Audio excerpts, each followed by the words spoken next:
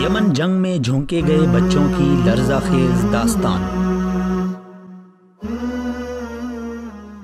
یمن میں ایران نواز Houthi militia کے ایک سینئر عسکری عہدیدار نے بچوں کو جنگ میں جھونکے جانے کے لرزہ خیز آداد و شمار بیان کیے ہیں۔ اپنی شناخت ظاہر نہ کرنے کی شرط پر حوثی عہدیدار نے کہا ہے کہ یمن کی جنگ کے آغاز سے اب تک حوثیوں نے اٹھارہ ہزار بچوں کو جنگ کا ایندھن بنایا ہے۔ ان میں سینکڑوں بچے جاں بحق ہوئے جبکہ ہزاروں زخمی ہو گئے ہیں۔ اب بھی بچوں کی بڑی تعداد مختلف محاذوں پر حوثی ملیشیا کے ہمراہ لڑائی میں شریک ہیں۔ خبر رساں ایجنسی اے پی سے بات کرتے ہوئے حوثی عہدیدار کا کہنا تھا کہ سن دو ہزار چودہ کے بعد ہی سے حوثیوں کو شدید افرادی قلت کا سامنا تھا اور اس کمی کو پورا کرنے کے لیے بچوں کا سہارا لیا گیا۔ خبر رساں ادارے نے یمن کی جنگ میں جھونکے گئے اٹھارہ بچوں کے بیانات قلم بند کیے۔ انہوں نے کمسینی کے باوجود جنگ کے اپنے تجربات تفصیل کے ساتھ بیان کیے ہیں۔ ان میں سے بعض تو ایسے بھی ہیں جو جنگ کے لیے بھرتی کے وقت دس سال سے بھی کم عمر کے تھے۔ تیرہ سالہ محمد جو فوجی وردی میں ملبوس تھا، اس نے بتایا کہ اس نے دو سال تک حوثیوں کے ہمراہ لڑائی میں حصہ لیا۔